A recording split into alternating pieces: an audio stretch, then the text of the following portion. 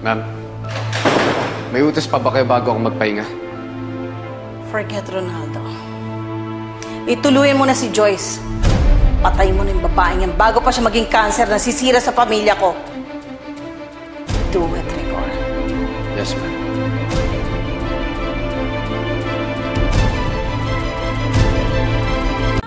I like the designs na pinadala mo, Musi Rodriguez.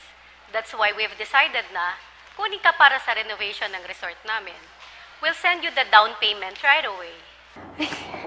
Naku, maraming salamat po, Mrs. Ramirez. Ah, hindi ho kayo magsisisi. Sigurado ako na gagawin ko pinakamagandang resort yung resort nyo dito sa Pilipinas. Thank you po talaga.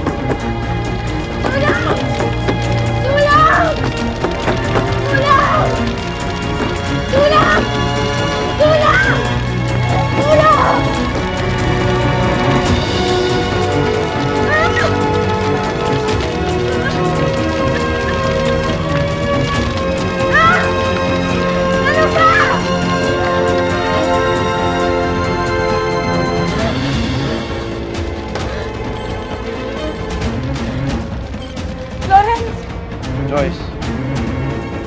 Joyce, hindi ako aalis dito hindi mo ako hinaharap. Maghintay ako dito sa baba. Lawrence, tulungan mo ako masunog dito sa opisina.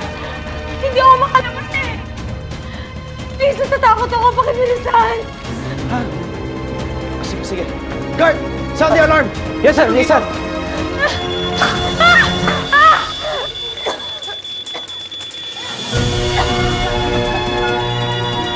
Joyce! Joyce, andito na ako! Joyce, lumayo ka sa pintuan! Tutulong ka to! Joyce! Joyce! Joyce, lumayo ka sa pintuan!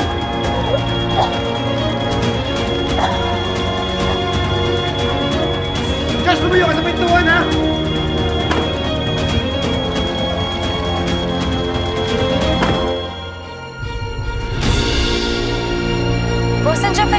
Mr. Castillo? Yes, ma'am. Kanina pa nga ako kayo nahintay. Sir? Sir! Sir! Sali! Pasensya ko! Hindi ko alam